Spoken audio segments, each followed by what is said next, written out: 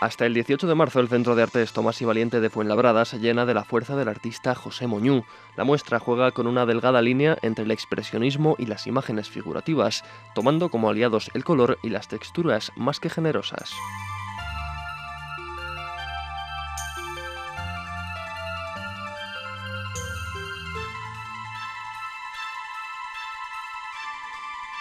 El pintor zaragozano presenta obras con títulos como Birds, Magic Ice Cream o Smoker Brain, todas ellas englobadas bajo el agradecimiento alemán Dankeschön.